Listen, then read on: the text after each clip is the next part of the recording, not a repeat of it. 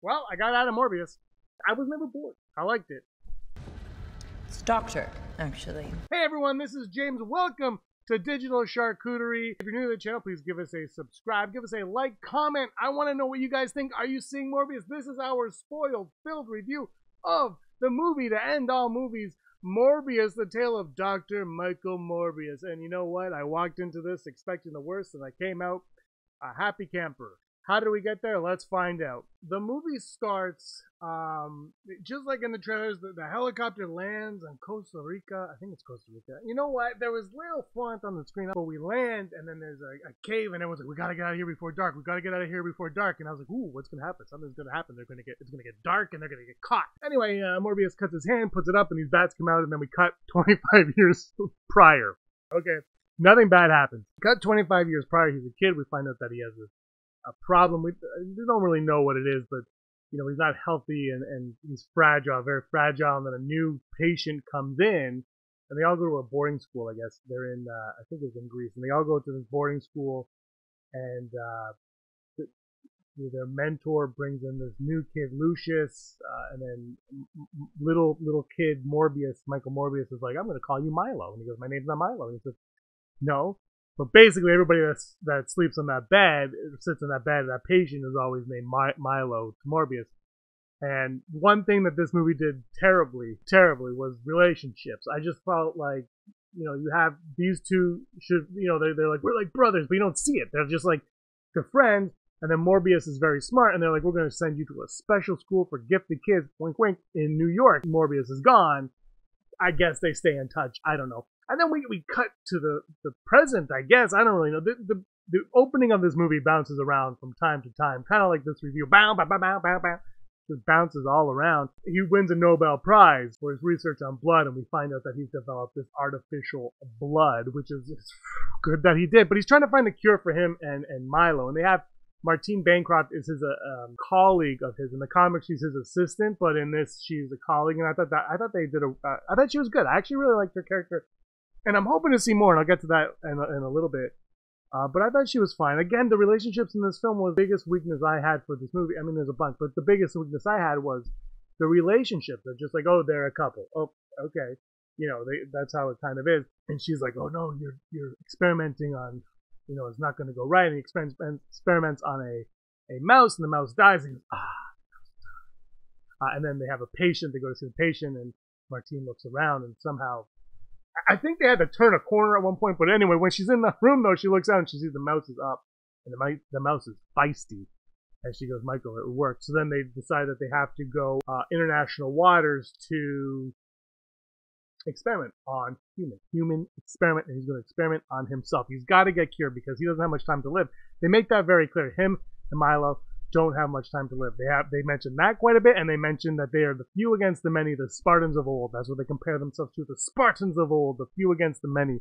That's the theme that plays out. Not really a theme, it's just a phrase that plays out uh, throughout the entire movie between those two. So they go international waters, and this part, what I appreciated the most about this was it was very reminiscent to Morbius's comic book introduction.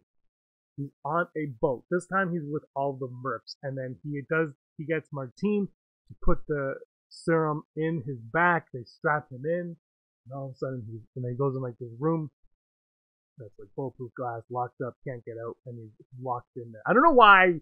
I don't really know why. It's not like they expected this to happen. This wasn't the anticipation of what would happen, but they were ready for it. And he's in there, and something goes wrong, and you know the captain, somebody goes down to check on him, and he's a he's a dick, shockingly, he's a dick, and uh, and then Morbius like wipes. Uh, Morbius is on the ceiling. Kind of cool. And you've seen, this is the transformation scene that we see. And then he takes out everybody on the boat. They just he wipes them all out. Part I didn't like though was Martine kind of knocks her head, and then she's out for like a year. Like she just gets knocked out, and they're like, we don't want her in the plot yet. So set her aside, and she won't wake up until we need her. Uh, so that's kind of the setup. But what I liked about it though was how it connected to his comic book origins, and it reminded me a lot of the Thomas Jane Punisher movie. This movie did actually remind me a lot of that movie. Uh, not in you know story, but in, in just the way it was like it, it, it respected its source material, but it the execution wasn't necessarily the greatest. And I do enjoy that Thomas Jane uh, Punisher movie, and I enjoyed this movie, so I guess that says something about me. But but it it respected the source material, and I like that because when he comes back, he, he's talking like, "What's going on? What's going on?" And he comes to this conclusion that he needs blood to live. Uh, so he has the artificial blood, but he's learning that the first time he takes the artificial blood, he has six hours, and then it goes down to five hours and four, and eventually the artificial blood just won't do it for him, and he's going to have to feed on human lives, and that's not what Michael Morbius is about, and he wants nothing to do with that. But in his recording, in his research, he says that incident on the boat, which is very reminiscent of the comics, that incident on the boat can never happen again. He can never do that ever again. But it's a comic book movie, so it's going to happen again. Bring in uh, Milo, his best friend Milo, who also suffers from something and is very rich. I don't think we ever really get the reason why he's rich, but he's very, very rich. Whatever, he's rich. That's fine. And he's been funding Michael Morbius' stuff, and he's like, "We got to get better. We got to get better. We got to get better." And then he finds out that Morbius is better, and then and Michael Morbius is like, "Well, I'm not. Are you crazy? I can't do this. I'm not gonna turn you into a vampire. You're my best friend. I'm not gonna turn you into a vampire." Uh, so he leaves, and I guess while he leaves, he grabs the serum that he wouldn't know was there, and he injects it into himself, even though Morbius had to get injected into his. I don't really know how he, but anyway, for plot's sake, he becomes um, a a vampire also, and Morbius uh, gets arrested. This whole thing, and then he gets arrested, and then Milo pretends to be his lawyer, walks in with his cane, leaves without his cane, and that's when Morbius is like Milo, and then breaks out of prison, literally like breaks out the wall and leaves. And the, the movie then becomes this obsession piece between My, of Milo trying to find Doctor Michael Morbius it's it's an, it's an obsession piece. That's what it's about. The the story is very simple, and I got I was never never bored. I, the movie didn't bore me. That I mean, can what else can you hope for when you go to see Morbius? Of all the crap of, you've heard about it, it never bored me. It, it, just didn't. I mean, it bounced all around. It didn't make much sense. The music's actually very good. It just it, it never bored me, and I was on board. Uh, the character development it needed a little bit more. So the movie is basically about Milo wanting to kill Morbius. Uh, because Morbius doesn't want to kill humans. I, I don't know. I thought that the effects on the vampires were great actually, and I thought Matt Smith was fantastic. Matt Smith has a few scenes where he really stands out and really he, he really had a lot of fun. And I like seeing that, especially in the villain. You want to see the villain having fun, and I thought he had a lot of fun in a few a few uh, spots for sure. The special effects eh, took me out at time when, especially in the fighting and the bullet time, bullet time just took me right out.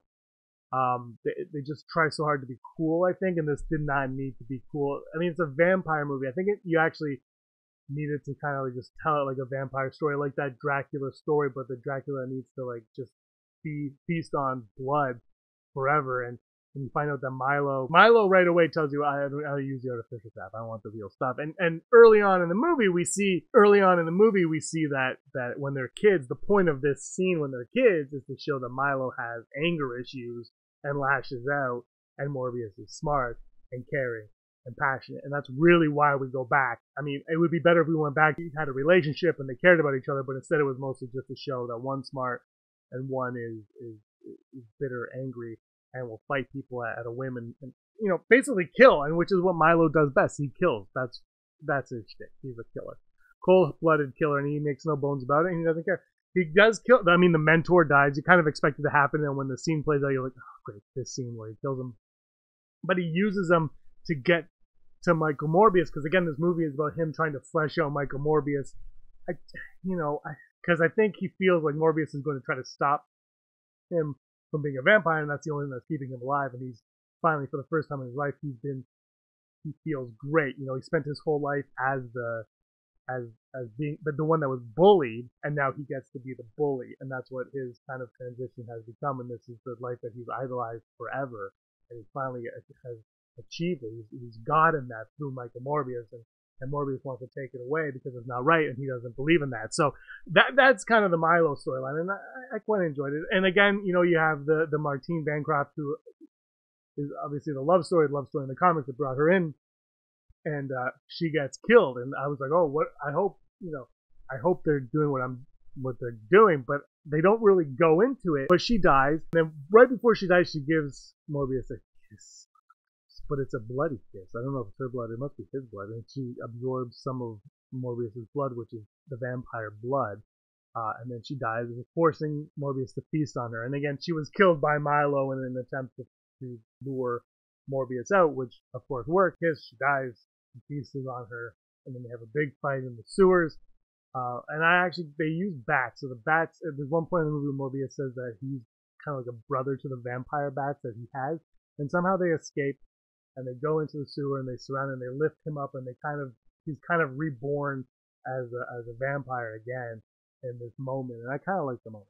Yeah, but it was a little bit whatever. But it, they lift him up and then he he stabs um what's this Milo with a with the with the anti the antidote, but the antidote is fatal to vampires. And he, and he goes, no, you can't kill me now. And then um, the cops all show up and bats fly out of the, the crack because there's a crack now in the road. And the bats all fly out and they're all like, whoa, there's bats. This must be Morbius. And then Morbius flies with them and he flies through the night. I don't. They just randomly cut to, to Martine laying dead and her eyes open. And it's exciting because I'm hoping in the sequel. I hope you know if we get a sequel, this movie's gonna make no money because there was I think four, maybe five people in my theater, and I'm not. That's not an exaggeration. One row had five people. That was it. Nobody in front of me. So, and, a, and a worker walked in twice, and you could you notice. I, I get. I like it, and I'm hoping they they the sequel if they do one they they develop storylines and characters, and I'm hoping she comes back and we learn just like in the comics where she's not a true vampire, but she wants to attain that. She wants to be a true vampire, and so she kind of has, you know, again these altercations, kind of like Morbius. I like I like the way Morbius is kind of like uh, Jekyll and Hyde, the Incredible Hulk, where fighting with himself, and he's like, I don't want to, I don't want to be this, but uh, but deep down he needs to be this, and I kind of like that. It's like a self-aware uh, Hulk uh, or Jekyll and Hyde. I really, Jekyll and Hyde. I really appreciate that uh, element of Morbius, which again they don't really deal with too too much in this movie, and I kind of wish they did, but they didn't. Whatever.